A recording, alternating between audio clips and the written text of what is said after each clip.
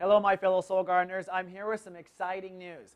Since Saturn is in Libra and our lives are about to change, I'm going to offer my 90 minute reading for the price of one hour to everyone in Soul Garden. It doesn't have to be your birthday.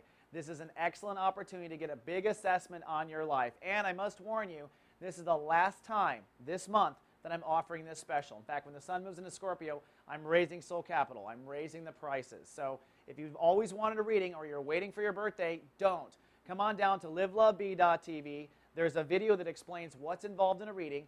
Purchase one hour, and we'll turn around and book you 90 minutes. Hope to see you there.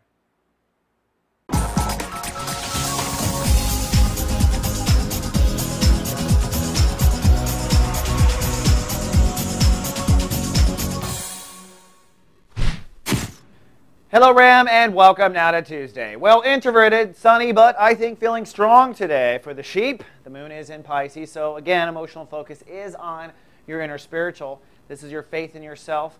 This is, of course, uh, your connection to the weeds in your soul garden. So you might be facing some weeds today, but I say you are strong. I say you are ready to face those weeds, and I say that because of the sun. We're in chapter 3 of Sun in Libra. Today, Saturn is ruling the day. This is the strength we've been looking for. Saturn really cuts to the quick. That's what Saturn does. It helps us make decisions. And decisions lead to those who are in control, right? They always say a leader has to be a good decision maker. That's because the two go hand in hand. And Saturn gives us that vibration to make these important decisions. And in the Aries case, this is a decision about where marriage will go or not go. So I think in the next 24 hours, the Arieses will be making decisions about how they want their marriages and partnerships to, in fact, go.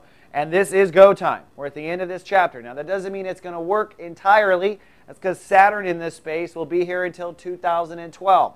This is the best decision you can make right now. This is the best decision you can make knowing what you know. So you're not going to be 100% certain. That's due to Saturn. Now, Saturn, on the other hand, is now entering chapter 2 of Saturn in Libra. And what that does mean is it is time to step away from what's not working, that's certain, and begin constructing what could work. So again, you're going to be stuck in this marriage transit, like I said, until 2012. You have to make a decision now. It's time to start to make some building now. It's now time to try some things. And you've got 24 hours to make your decision. Also, it's Tuesday. We've got a new episode of Just Ask Us starring Lauren Seraphan and Angelo Eros. They're answering your questions on camera in a sexy and fun way. They are live everywhere, Soul Garden Blooms. And for those of you who have an Aries rising. I just want to point out one more time how this works. If you have an Aries rising, everything I said applies to you, but it's probably happening very much externally, so it's happening outside of yourself, not just in your head. And it's also affecting a long lifetime of changes. It's your multi lifetime story. So rewatch this horoscope for Aries risings and see that your multi lifetime, long term story is in fact making some changes. For those of you who are just Aries, it is happening really more in the present. It may affect you 30 days or longer. Now, I know we're talking about the next two years or year and a half for marriages. That's true in both cases. You'll be making long term changes in your life for the next year and a half. You'll be making short term changes that will still have you grappling with what marriage is for the next year and a half. No matter how you are, you'll be grappling with marriage for the next year and a half. Okay, I'm clear now. All right, Ram, that's all I have for today. Make your decisions because tomorrow it's time to act. All that and more in 24. Live, love, be. So